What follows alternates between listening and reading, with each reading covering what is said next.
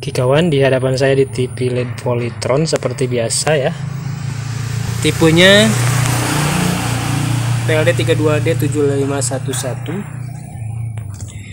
E, dibawa ke sini sudah dalam keadaan tikon kiri kanan terpotong ya, meskipun potongnya tidak sempurna. Setelah saya cek tegangannya ternyata e, tegangan untuk PCC input 12 voltnya tidak masuk di Tikon hanya sebelum pius di sini ya.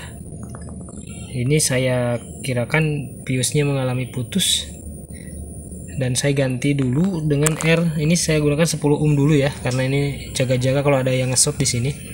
Nanti saya ganti dengan nilai 1 ohm. Dan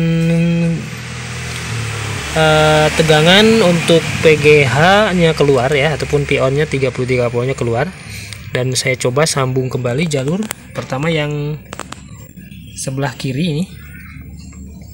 Saya sudah sambung ulang ya. Nah itu dia. Oh sorry kalau agak kurang jelas. Tadi sempat keluar gambar ataupun logo keluar ya. Dan untuk jalur kanannya juga saya sambung ulang. Tapi belum saya coba ya sekarang. Bagaimana? Apakah awalnya itu memang benar-benar uh, ngesot di panel atau hanya putus di fuse-nya saja. Kita sekarang akan cek ya. TV sudah menyala. Dan memang kali ini TV-nya ngeblank ya. Jadi kemungkinan itu di jalur uh, kanannya itu ada yang ngesot ya.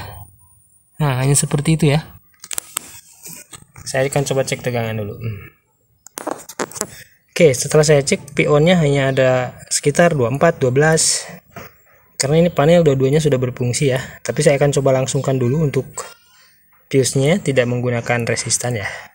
Karena ini kemungkinan jadi ngedrop tegangannya. Oh ya, jadi untuk sekarang ngeblank ya. Jadi ngeblank, memang ini panel betul-betul mengalami short ya. Jadi saya akan coba potong kembali jalur entah jalur yang mana ikuti saja videonya terus. Oke kawan setelah tadi saya melakukan pemotongan ulang jalur yang sebelah kanan eh, tegangan PGL PGH muncul tapi TV tetap ngeblank ya. Ternyata setelah saya konfirmasi ke pemiliknya dan tanyakan langsung eh, dia potong juga di belakang ya belakang tikon antara jalurnya kiri dan kanannya sudah terpotong. Nah seperti ini ya. Jadi terpaksa saya lakukan jumper ya dari test point kanan ke test point kiri. Itu beberapa jalur kalau kurang lebih ada empat jalur ya. Empat jalur yang saya sambung. Dan uh, eh, TV kembali bisa menyala tentunya dengan satu kekurangan. Ya ini pixelnya sudah kurang lembut ya karena memang di bagian kanan uh, sudah ada jalur yang dipotong. Oke dan terima kasih yang sudah nonton. Mudah-mudahan videonya bermanfaat. Sampai ketemu di video saya berikutnya.